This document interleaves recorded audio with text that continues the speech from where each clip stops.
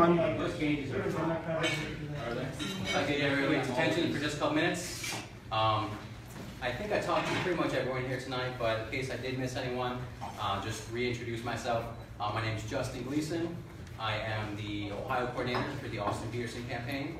I am also the Libertarian Party of Ohio 14th District Central Committee Seat A, and I'm also a delegate for the convention that's going on next week. Um, I want to personally thank everyone for showing up and supporting the campaign. Uh, I know it was a little bit of a curveball to have to reschedule everything, and I just am very appreciative that everyone can still make it out here um, and show support for Austin. Um, just as an administrative points, uh, first, uh, I think I spoke to most everyone about the big petition drive we're doing for ballot access. Um, if I haven't touched base with you, please talk to me tonight. Um, it's a very important thing to get the Libertarian Party on the ballot in the fall. Um, any way you can circulate it, that would be great too. But you know, if you just sign on the dotted line, that'd be great too to sort of help uh, push the message forward. And I really feel good um, that we have such a candidate that we all can be inspired by uh, uh, this election cycle. Um, you have people on both the left and the right, you know, Democrats and the Republicans, that sort of offer these promises. Democrats, it's you know, free health care, free college, free this and that. Uh, for the Republicans now, it seems to be um, you know a, one big free wall. Uh, and with the Libertarian Party, you know, we can't offer that. We wouldn't want to offer that. Um, all we can actually offer is just simply freedom. Um, a quote that's often attributed to Thomas Jefferson, uh, though whether he actually said it or not, but I think he was probably of mind that you know we agree with it is the government uh, that governs least governs best. Um, and I think that we have a candidate uh, that actually embodies those principles very well. Um, and in about a week and a half, in case uh, people haven't been following the uh, convention schedule and all that, we're going down to Orlando uh, for the Libertarian Party National Convention. And at that point, you know, God willing, uh, Austin Petersen will be the next Libertarian Party presidential candidate. Woo!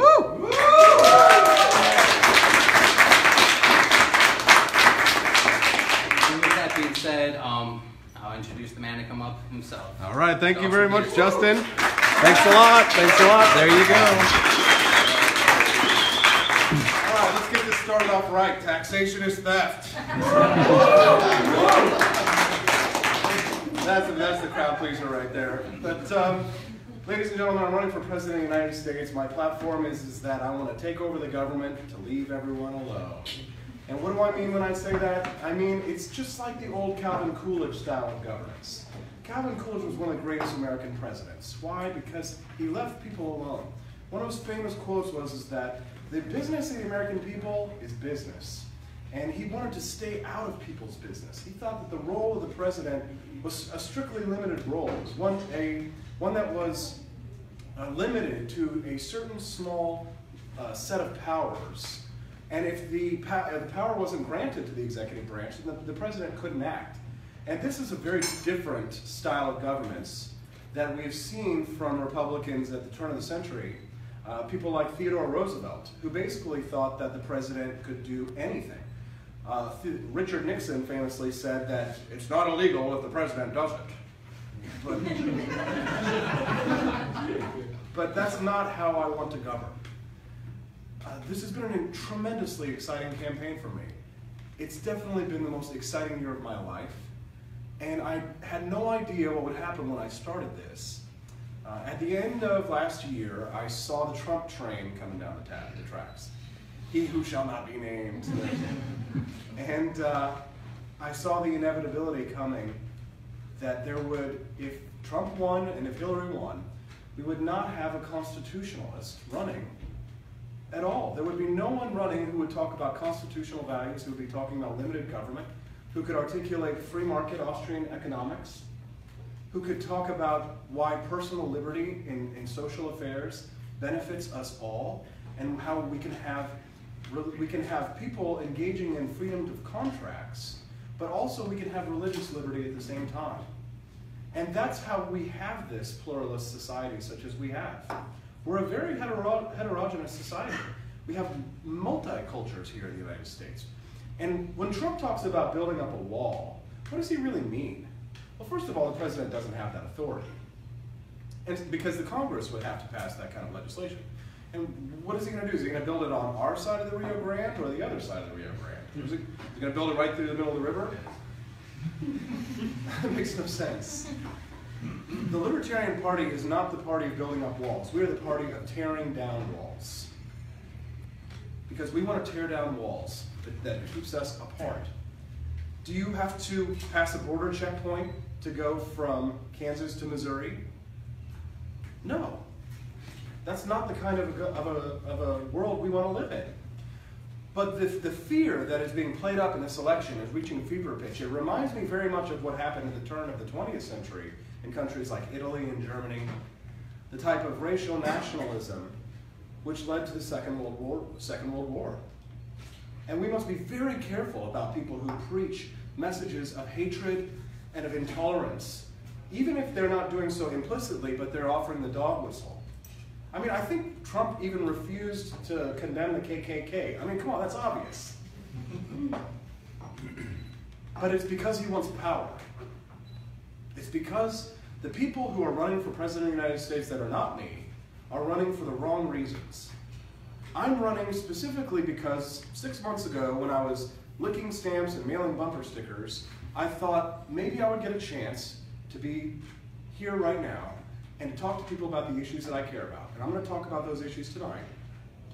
But I want to tell you that a question that I got earlier today. Uh, are you sincere? That's the big question. Because some people said, Austin, you, you, are kind of like Marco Rubio. You, you seem uh, a little robotic. And I've actually, I feel like I've improved a lot in this process. Because in the beginning, I was a very eager boy and trying to be energetic because I thought that's the best way. If I want to go for the torch of liberty and grab it, I'm going to run as hard as I can. And, and um, people were like, "Oh, calm down. You know, perhaps you know you need, do need to appear presidential." And I've learned a lot. Um, and the, an important thing that one important thing that I've learned and uh, changed about myself is that it's not just about me; it's about representing the American people. And that does mean that I do have to tailor my behavior because I want to be a good representative, not just for the libertarians, because that's important. But once I win this primary next week, then I have to go out and I have to win the hearts and minds of the American people. I think the libertarian message really is the message of the American dream.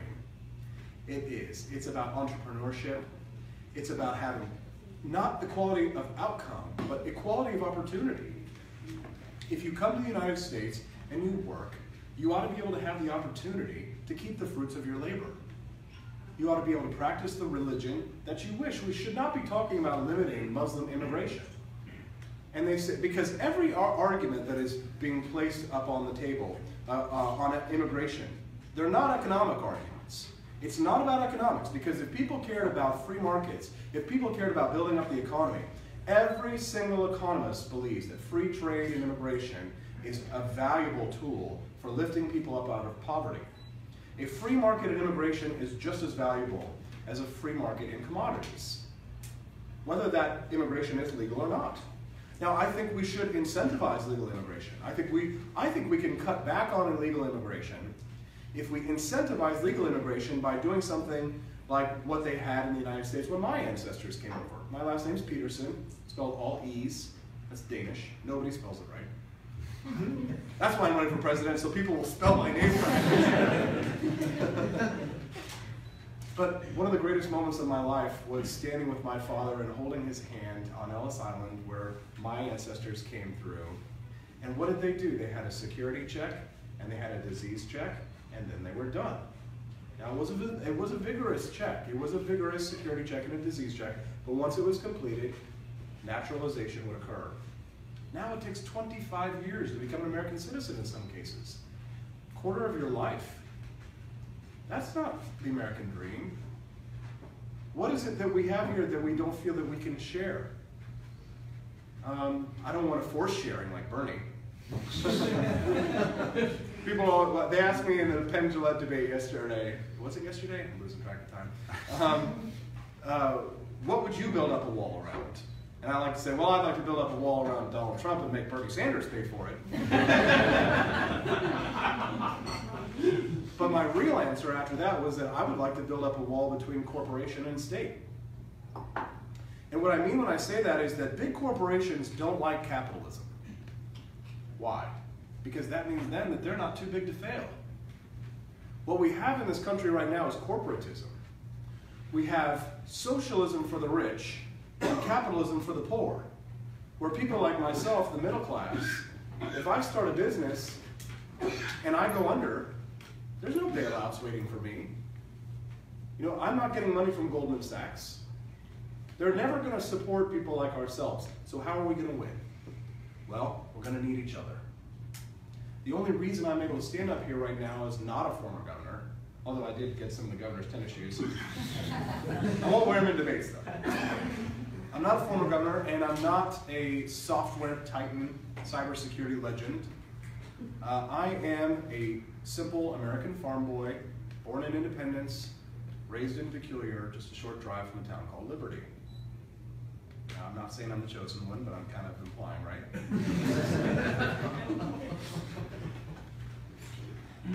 Riding horses, shooting guns, and I love my country. And I think America is going to love me if you give me this platform, if you vote for me at the National Convention. I know a few of you are delegates. We have an important choice to make. It is our time for choosing. And we have to understand what are the battles that we can win. Fighting some gargantuan battles. Austin, why are you running for president of the United States? You go, you'll never win. They don't understand. I'm winning every single day. Every single day that I stay in this race, that I bring more people to our cause, I'm blazing trails and I'm taking victories. So that when people come behind me in four years, if I'm not the nominee again, then whoever it is, I can pass the torch and say, I took that torch farther down the line for you. Now, the number one question that I usually get is, Austin, you know, what is libertarian, or how can we how can we get more people to become libertarian? And most people will, say, like Gary Johnson will say, well, everybody's a libertarian, you just, they just don't know it. And to a certain extent, he's right. So, from a simple practical perspective, how to win friends and influence people. If you find out what people are libertarian about, that issue, find out what it is. They could be 90% communist, but perhaps 10% libertarian. Well, let's get the government out of the war on drugs, for example. Instead of saying, oh, you communist, you know, I hate you, and, and you know, Bernie Sanders supporters can jump off a bridge, instead of taking that sort of uh, attacking pose, I'm not saying that there isn't time to fight, but if you meet someone and you want to convert them and you think that there's a chance, agree with them first, make friends first. Find that issue that they're libertarian on first, and then widen the opportunity for agreement. Right? So once you're friends, then you can sit on the front porch, drink a beer, talk all night about economics and politics and, and society. And it's because you're friends that it doesn't matter that you don't agree on everything. I mean, you know, my family, my friends, they're not all libertarians. But many of them are becoming that because I express my love, my sincere love for them, and my love for my fellow man. That's where my policies come from, by the way. And that's a word that I think we libertarians don't use enough. We get accused of being heartless. But it, our policies are to the benefit of the poor and the middle class. It is because we love our fellow man and because of our, our policies of compassion for our fellow man that we want them to have freedom.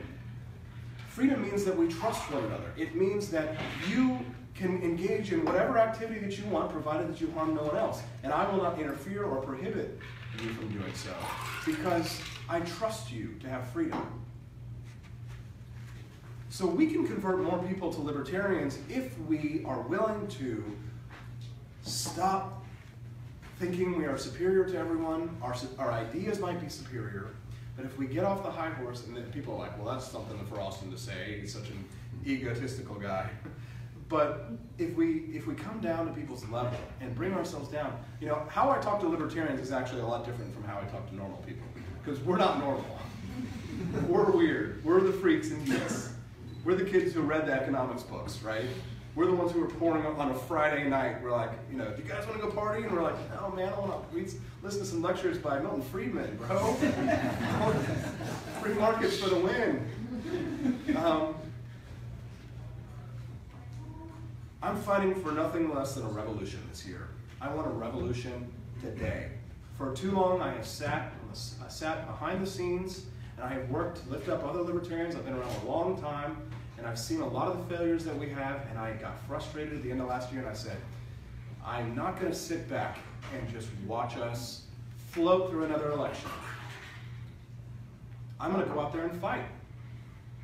So what I said to Penn Jillette in the debate was, it wasn't, it's not me or necessarily my cleverness that has allowed me to stand up here with these two titans. It's because of you. It's because of how many people are watching this right now, Justin? 303. 303? Yep. Wow. So not only do we have 30, 40 people here, add 300. This is the revolution.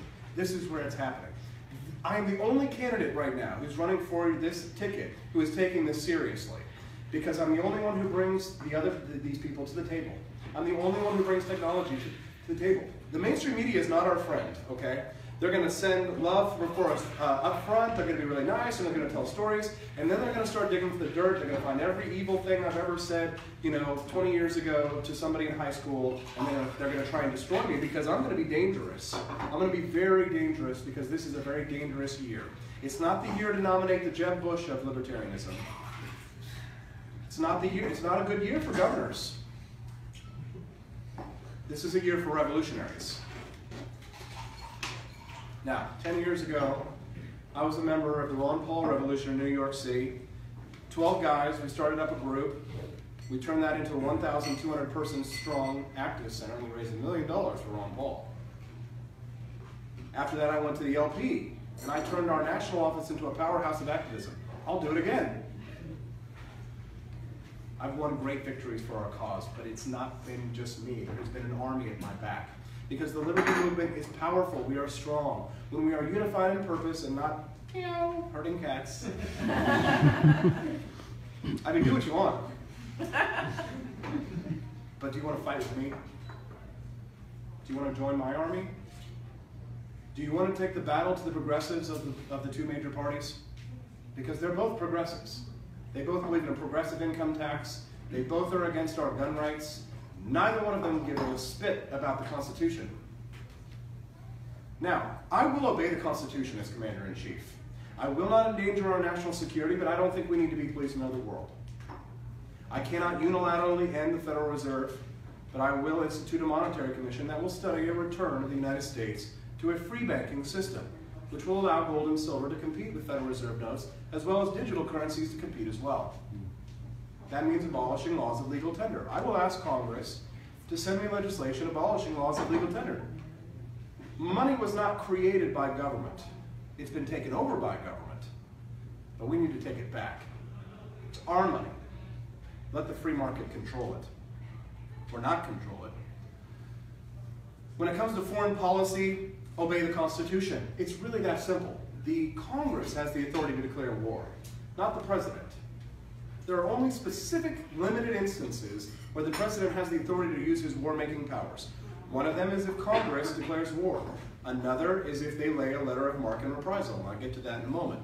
Another is, under the War Powers Act, if there is an imminent threat to the security, to the national security of the United States, if the President believes there is an imminent threat, he can act using the military to defend the national security of the United States if he knows that there will be a terrorist attack. But because of the War Powers Act, he must then go to Congress within 72 hours and justify his use of force, and that would make it constitutional. I'm the only candidate running right now that mentions this, that knows this, that knows the law. Yesterday, Gary and I got in a big debate. We had a fight, and I yelled at him.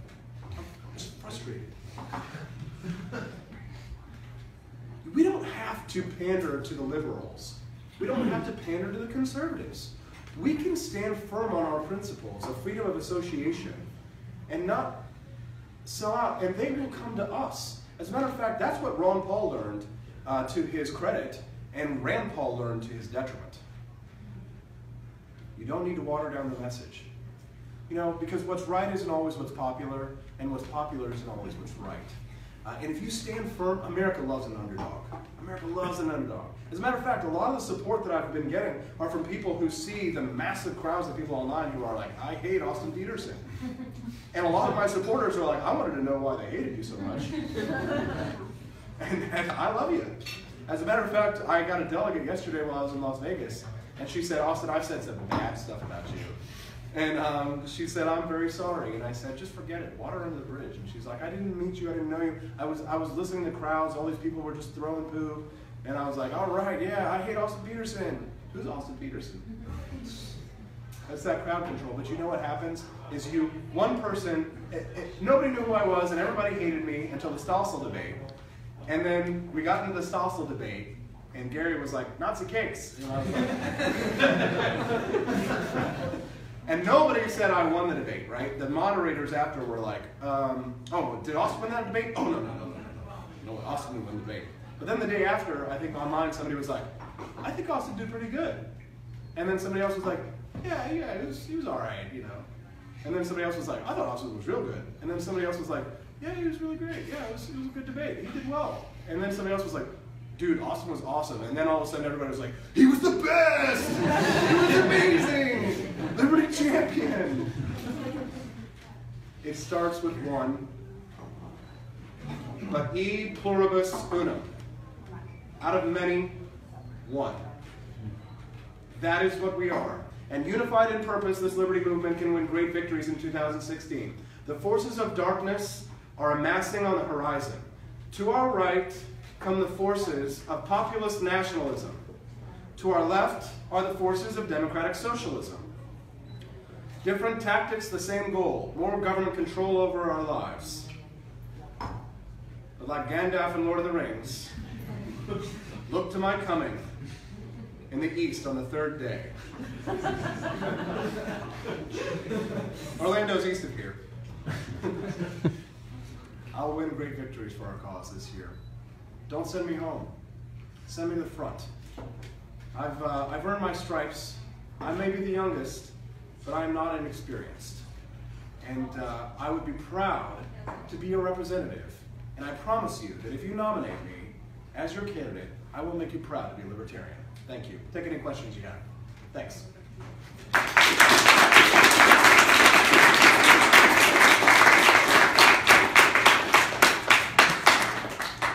All right. Yes, sir. When's the debate gonna be on the one at? Uh, Friday night, 5 p.m. on the Blaze.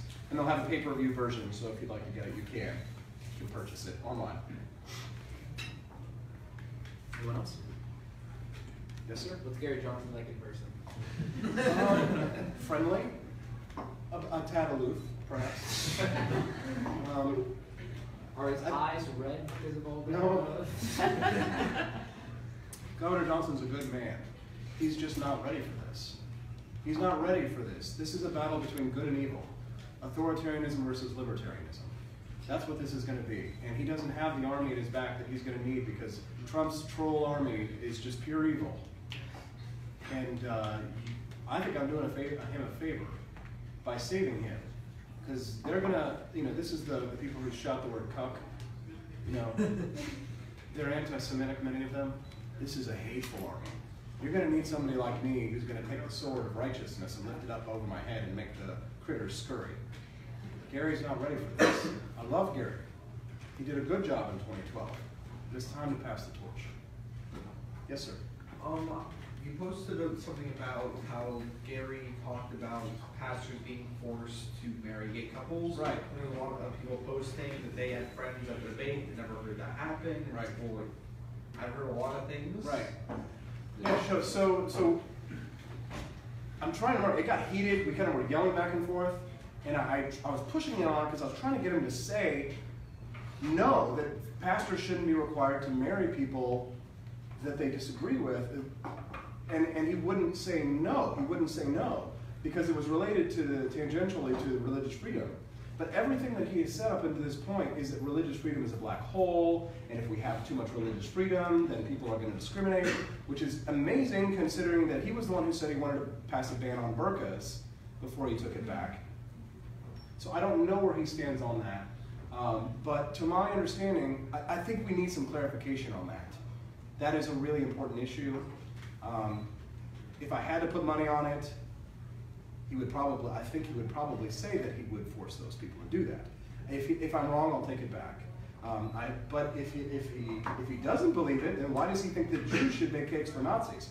I think he's confused. I don't think he knows the law. And that's what I was saying in the debate, and, and they had to stop us because I was like, answer the question, Governor. And uh, he wouldn't answer it because he says, you're going to overturn the Civil Rights Act of 1964. I'm like, I'm like, well, at least you know the law. I'm like, at least now you know the law, Governor. I go, because if you, at least you know the law, but you don't know that Nazis aren't a protected class. He doesn't know that, and he's not, he's kind of a one-issue guy. This doesn't mean he's a bad guy. I mean, you know, when, they, when history looks back on this time in history, and marijuana legalization is occurring widespread, they're gonna, Governor Johnson's name is gonna be out there, and he's a hero, and I'm glad that he did that. Um, but this is not a, this is not a marijuana election. This is an immigration election. This is a national security election. This is an economics election. And those are the issues which I will be championing, right? Those are the issues that I'm good at. This is also not a, this is also not a battle necessarily of ideas as much as it is, a battle of personalities. I don't want it to be. I would rather it be simply a battle of ideas. It will be a battle of personalities. So one of the critiques that I got was, Austin, you talked over Gary Johnson. Oh yeah. Oh yeah. Put me up on there on that stage with Donald Trump and Hillary Clinton. I'm be talking all over them too. I'm playing nice. I'm playing pretty nice. I'm, I'm being tough because I'm trying to win. But the gloves are on for the most part. I'm throwing punches, but when I win this nomination, the gloves come off and I got claws. I'm going after them. Um, but you know, again, even if I do lose, I hope I make Gary a better candidate. You know, because he's got to go up and he's going to have to fight with Trump and Hillary, and Trump's going to be like, "Excuse me, Governor, excuse me." You know, if that was me up there, I'd be like, "There's no excuse for you, Trump." and talk over him. He's a bully. I'm not a bully, but I know to beat a bully because I've been bullied. You never turn your back on a bully. All right. So. Um, Let's get Governor Johnson on the record on that. I'll try and punch, punch him up in the next debate. if he says no, I will be much happier that he doesn't want to force people to marry, get married. But then, why force Jews to bake Nazi cakes? Anything else? Speaking of our national debates, uh, when you are our nominee, what will you be able to do to be able to hopefully get yourself up on the stage with Trump and Hillary, presumptive nominees from the Democratic and Republican Party? So I am. I, I hate people who like make wild predictions or wild promises. That's one of the things I really just despise. Um, so I'm not going to make promises or tell you that I'm going to get this or that's going to happen. The truth is, is that we face an uphill battle. Uh, we got to get 15% in national polls. But the bad news is, is that they may not include us in the polls. Okay? So if that happens, then they're not going to invite us to the debate. If we have a lawsuit, right, and the Libertarian Party, the Green Party, One America Institute, uh, if that lawsuit is successful, we may be in the debate. But the CPD may just dissolve itself and start a new organization, meaning we won't be in a debate.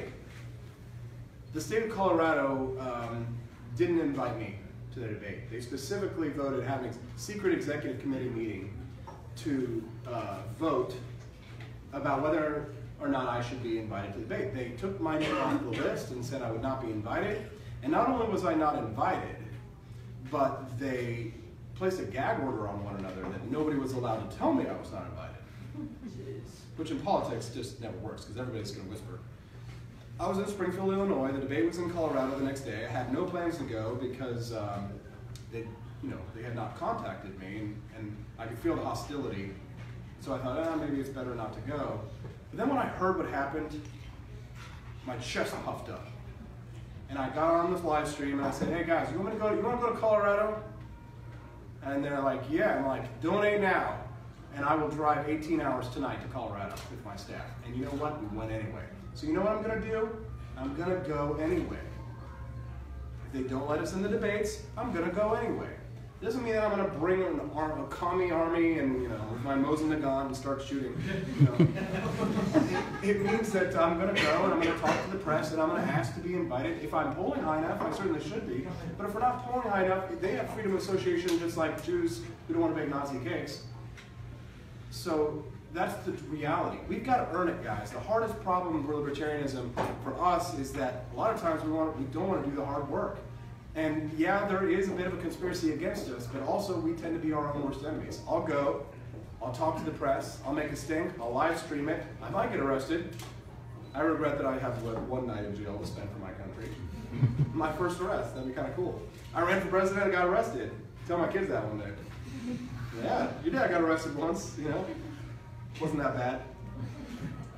I don't think that's going to happen. I think that uh, I think that if the American people are so dissatisfied two major parties, and we're polling 15%, 20%, maybe 35% in some of these national polls, they're going to have to invite us because it's going to be good ratings.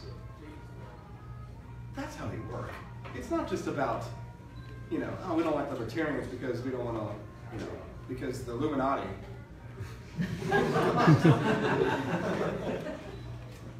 it's not, that's not what it is at all. It's ratings. If the mainstream media networks think that putting Austin Petersen in the debate with Trump and Hillary is going to get them, make them millions of dollars, they're going to do it. If they think that it's kind of a squirrely guy who's kind of weird and creepy, you know, they're going to be like, hmm, that's not going to rate. That's been one of the hardest realizations when I worked at Fox is that when I would see my libertarian friends, I would be like, yeah, cool, I want to put all my libertarian friends on TV, and th these guys are brilliant. But then they get on TV and the ratings tank. And I was like, ooh, crud. That's, that's the market's place. That's the market speaking. That's not, that's not a conspiracy. That's us not being up on our media game. So, I think I have got the chops, I got the savvy, I got the experience, uh, I got the know-how, and I think I'll get the ratings. I think it's gonna rate, baby. We're gonna have a good year. Yes. Talking about the media game, how do you, I mean, John Mm-hmm. he's definitely, he, he has a niche. I'm a fan. Yes. And, but he's also got a very, um, creative team with, you know, helping with his advertising. How, he's, he, I mean, obviously, he's not gonna the nomination, but how do you keep him involved, like, kind of channeling into your campaign? Yeah, I feel like somebody served these questions up for me. It's perfect. Justin, did you drop these questions on these? Or did you- If Gary Johnson wins, McAfee will bolt. He, we need him more than he needs us. So, if I win, McAfee says he's going to do everything he can to help me win the White House. So, if you nominate me, we get McAfee and we get his team and his support. So, nominate me. In addition to that, would he be your VP? Um, honestly, he said no. Um, but it doesn't matter because he's, he's going to work for me. So we'll have him. And that's probably better because he's so wild. Better, Marty. Great party. and, trust me, if I lose, I'm going to Tennessee and he and I are going to have a bender.